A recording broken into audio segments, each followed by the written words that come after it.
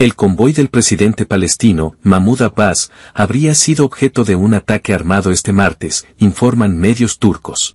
Quien lo dice es el el diario Millillet, precisa que un guardaespaldas del mandatario palestino resultó herido por la agresión mientras que no hay información sobre el estado de Abbas.